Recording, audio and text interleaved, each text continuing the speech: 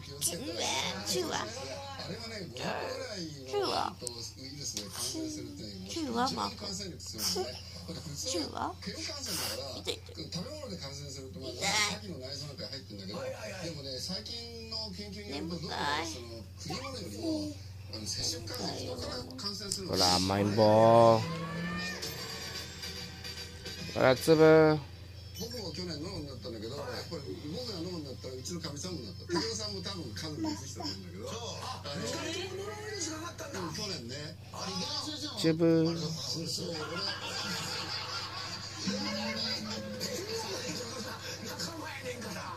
で僕がかかってったらう。ちの女房がやっぱりすぐ俺がかかった